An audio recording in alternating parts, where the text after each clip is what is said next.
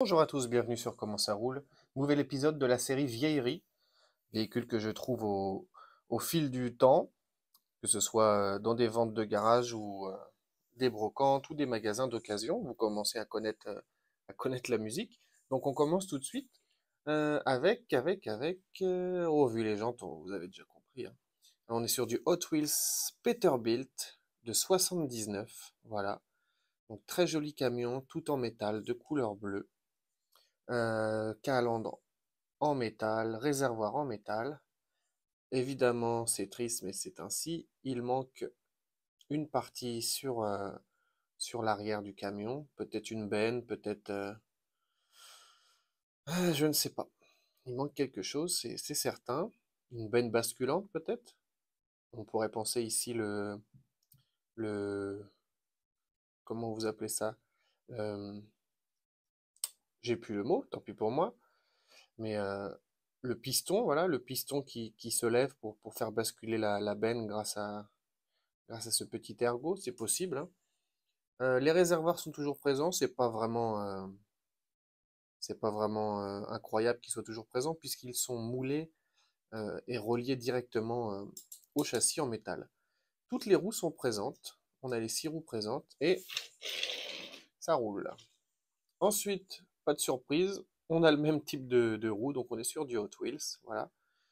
On est en 76 apparemment avec châssis plastique. Donc fourgon classique de livraison qui a été complètement dépouillé de son intérieur par, par la personne, par l'enfant qui l'avait à l'époque. Donc euh, je vais essayer de m'approcher. Il n'y a plus de volant, il n'y a plus de siège, il n'y a plus rien. Voilà. Écoutez, on va pas s'attarder, mais euh, ça reste une, une petite Hot Wheels de, de 76. Et ça roule super bien. Ensuite, une très très jolie coccinelle. Voilà.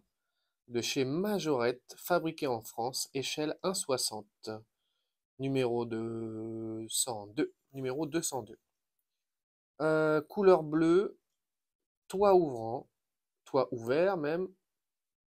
On a une petite immatriculation parisienne avec du 75. Le pare-choc est toujours présent, les sorties d'échappement aussi. Euh, les vitres sont... bon, celle-ci est un petit peu fissurée, c'est vrai, à l'arrière. Oui, ok. Devant, c'est pas mal.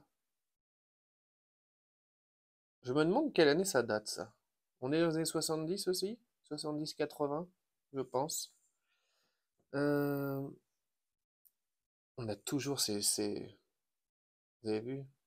C'était pas forcément fait pour, mais étant donné qu'il y a du débattement euh, au niveau de l'essieu, ça nous laisse croire une, une suspension, j'adore. Euh, le capot... Oh! Ah, Je vais essayer de pas le casser. On a le, coffre avant qu'il s'ouvre. Je vais essayer de m'approcher, je peux pas l'ouvrir plus. On a une, une valise euh, en plastique. Alors, j'en demande beaucoup là, mais il faut que vous voyez ça. Non, c'est pas possible. Je suis sûr que vous la, vous la devinez. Là, on a une, une, malle en, plastique cachée à l'avant. Et, euh, ce qui rajoute euh, de la sympathie à cette voiture, c'est que, étant donné que le capot s'ouvre, on aurait pu le perdre au fil du temps.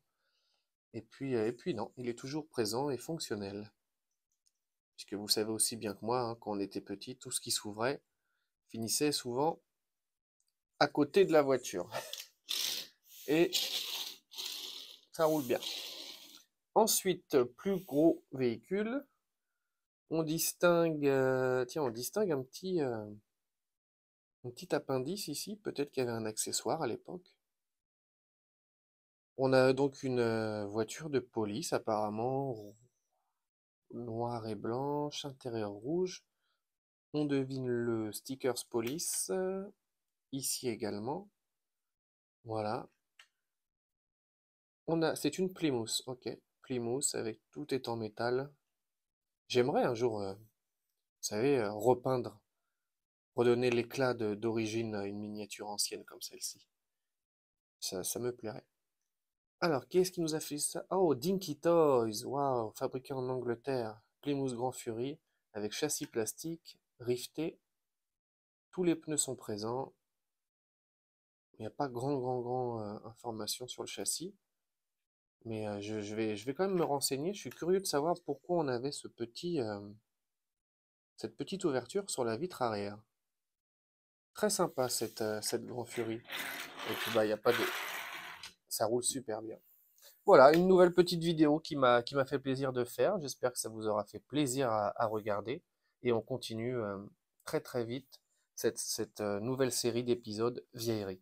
Merci à tous et à très bientôt.